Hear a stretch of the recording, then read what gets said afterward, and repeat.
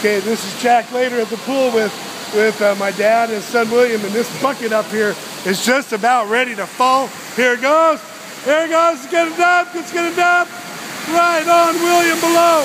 There's William. It's dumping. It's dumping. Oh no.